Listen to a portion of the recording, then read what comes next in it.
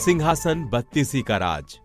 नब्बे के दशक में लोग बेताल पच्चीसी खूब शौक से देखते थे, लेकिन क्या आपको मालूम है कि बेताल पच्चीसी आखिर कहाँ से आया? दोस्तों, प्राचीन समय की एक संस्कृत बुक है, जो संस्कृत संस्करण में बेताल पंचय विंशतिका से ली गई है, और इसमें करीब 25 कहानियों का ज़िक्र है।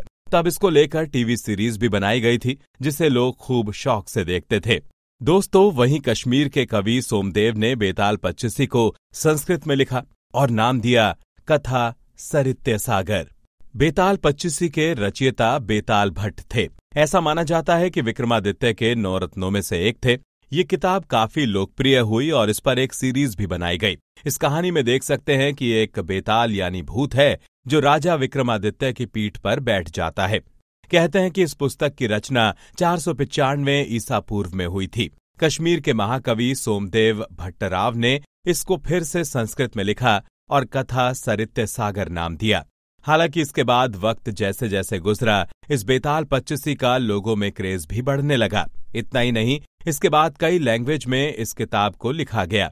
बेताल के द्वारा सुनाई गई रोचक कहानियाँ सिर्फ़ दिल बहलाने के लिए नहीं होती थीं, बल्कि उनमें कई मैसेज होते थे जो इंसान के लिए एक बहुत बड़ा सबक होता था क्या सही है और क्या गलत, इसको यदि हम ठीक से समझ लें तो सभी प्रशासक राजा विक्रम की तरह न्यायप्रिय बन सकेंगे और छल और द्वेष छोड़कर कर्म और धर्म की राह पर चल सकेंगे इस प्रकार ये कहानियाँ न्याय, राजनीति और विषम परिस्थितियों में सही निर्णय लेने की क्षमता को डेवलप करने का काम करती थीं। आज के नए दौर में लोगों के लिए सम्राट विक्रमादित्य से जुड़ी कहानियाँ ज़िंदगी में बहुत काम आ सकती हैं। इसमें कहा गया है कि बेताल नाम का प्रेत राजा विक्रम को हर रोज एक स्टोरी सुनाता था और जब स्टोरी खत्म होती थी, तब वो एक सवाल राजा से किया करता था। राजा उत्तर देने के लिए विवश हो जाते थे। दरअसल बेताल ने कंडीशन लगा रखी थी कि अगर राजा कुछ भी बोलेंगे तो वो फिर से भाग जाएगा और पेड़ पर चला जाएगा। लेकिन क्या आपको पता है बेताल पच्चीसी की शुरुआत कैसे हुई? हम आखिर कैसे बेताल पच्चीसी की कहानी की शुरुआत हुई? बात सैकड़ों साल पुरानी है। धारा नगरी में गंधर्व सेन नाम का एक राजा हुआ करता था। उस राजा की चार रानियाँ थीं। उसके छह लड़के थे, लेकिन एक दिन उस राजा की मौत हो जाती है। राजा के बाद उसका बेटा शंख उस गद्दी पर बैठ जाता है। उसने कुछ दिन तो पूरे राज को चलाया, लेकिन छोटे भाई विक्रम ने उसे मार डाला और स्वयं राजा बनकर बैठ गया। इतना ही नहीं, अपने हुनर के बल पर वो बहुत जल्द जम्बू द्वीप का राजा बन बैठा और एक दिन उसने सोचा कि क्यों ना पूरे देश का दौरा किया जाए और उसने इसी मन के साथ अपनी गद्दी, अपने छोटे भाई भृतहरि को सौंप दी। इसके बाद योगी बनकर पूरे देश का दौरा करने वो निकल पड़ा। दूसरी ओर एक शहर में एक ब्राह्मण तपस्या करता था। एक दिन देवता ने खुश होकर उसे एक फल देते हुए कहा कि इसको जो कोई भी खाएगा, वो ज़िंदगी भर अमर हो जाएगा।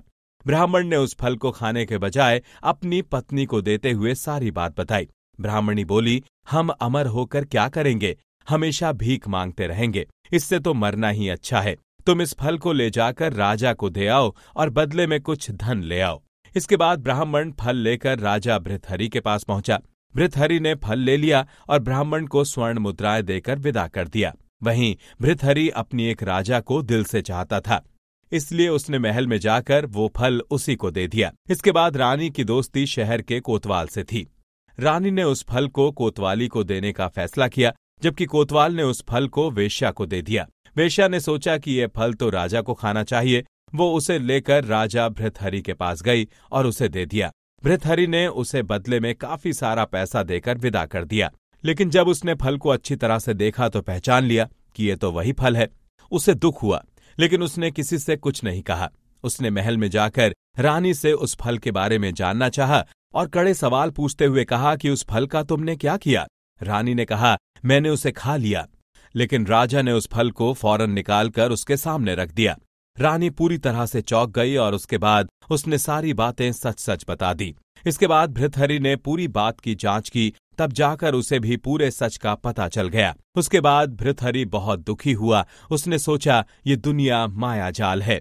इसमें अपना कोई नहीं। इसके बाद उसने उस फल को धोया और खुद ही खा लिया। इसके बाद राजपाट छोड़ा, योगी बन गए और जंगल में तपस्या करने चले गए। भृतहरि के जंगल में चले जाने से विक्रम की गद्दी खाली हो गई। जब राजा इंद्र को इसकी जानकारी मिली तो उन्होंने एक देव को धरा नगरी की रखवाली के लिए भेज दिया। ऐसे में वो देवधरा नगरी की रखवाली में लग गया।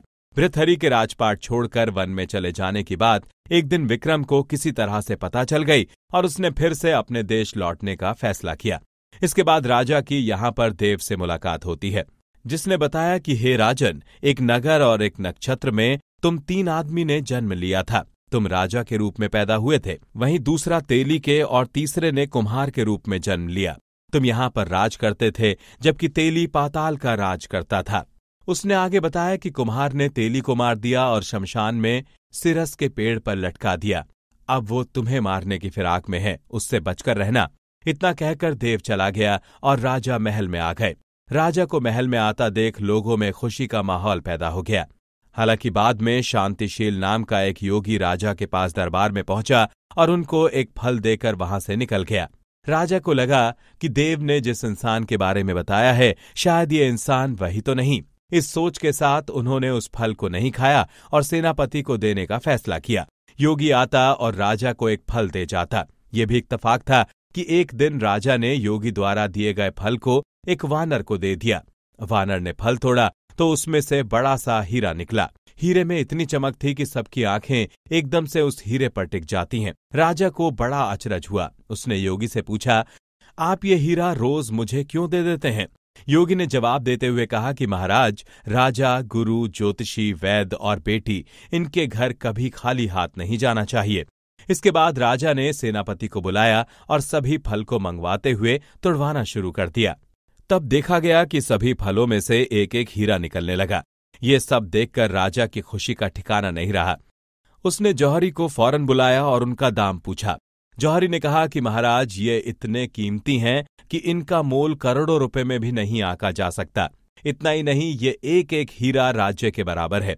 इतना सुनना था कि राजा ने योगी का हाथ पकड़कर उसे अकेले में ले गया। वहाँ जाकर योगी ने कहा, महाराज, बात यह है कि गोदावरी नदी के किनारे शमशान में मैं एक मंत्र सिद्ध कर रहा हूँ। उसके सिद्ध हो जाने पर मेरा मनोरथ पूरा हो जाएगा। तुम एक रात मेरे पास रहोगे तो मंत्र सिद्ध हो जाएगा। एक दिन रात को तुम अकेले मेरे पास आ जाना, राजा ने हाँ कर दी। वो दिन आने पर राजा अकेला वहाँ पहुँचा। इसके बाद योगी ने उसे अपने पास बैठने को कहा। तब राजा ने पूछा, मेरे लिए क्या आज्ञा है?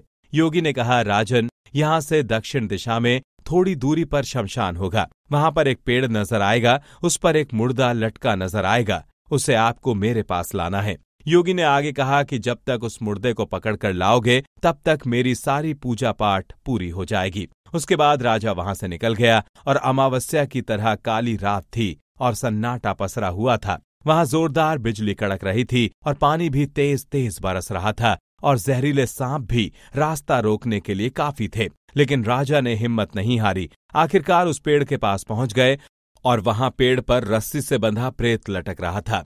राजा पेड़ पर चढ़ गया और तलवार से रस्सी काट दी। प्रेत नीचे गिर पड़ा। राजा ने नीचे आकर पूछा, तू कौन है? राजा का इतना कहना था कि वो प्रेत हंस पड़ा।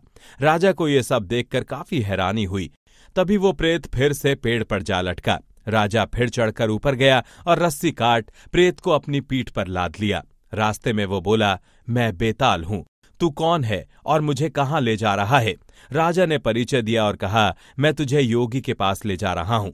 बेताल बोला, राजा, मैं एक शर्त पर चलूँगा। अगर तू रास्ते में बोलेगा तो मैं लटक कर पेड़ पर वापस आ जाऊँगा। राजा ने उसकी बात मान ली। फिर बेताल बोला, पंडित, चतुर और ज्ञानी, इनके दिन अच्छी अच्छी बातों में बीतते हैं, जबकि मूर्खों के दिन कलहा और नींद में।